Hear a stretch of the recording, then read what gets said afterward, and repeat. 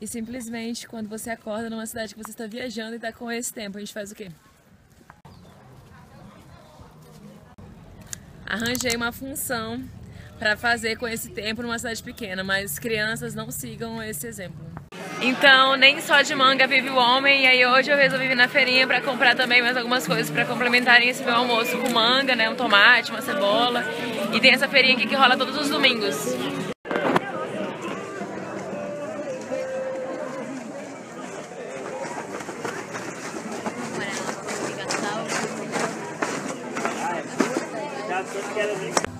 Gente, aconteceu uma coisa muito legal agora na feira, foi porque o moço estava encerrando tudo, ele estava guardando as uvas, aí ficou uma. Aí eu falei, ah, quero comer uma uva. Aí o moço, posso pegar uma uva?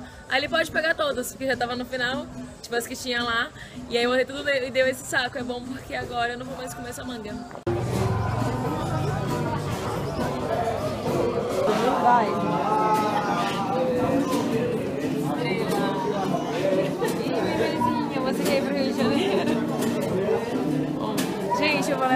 Pegar as caronas também, porque é alguém pra viajar comigo, né? Só não sei se a menina que mora lá na casa vai deixar. Você vai?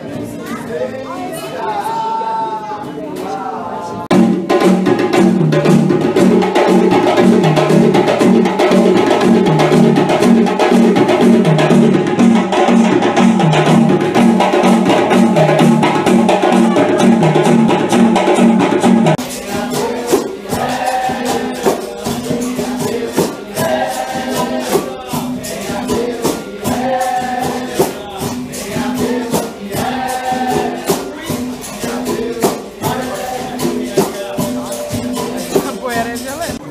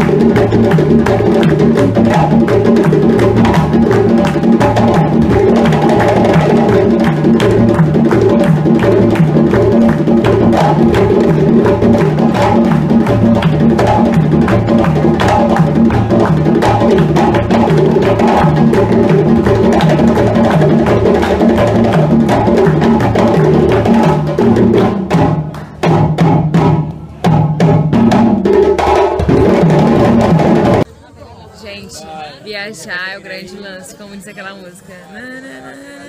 Viajar é preciso. Então, viagem, essa é só a única coisa que eu tenho para falar para vocês para aproveitar a vida.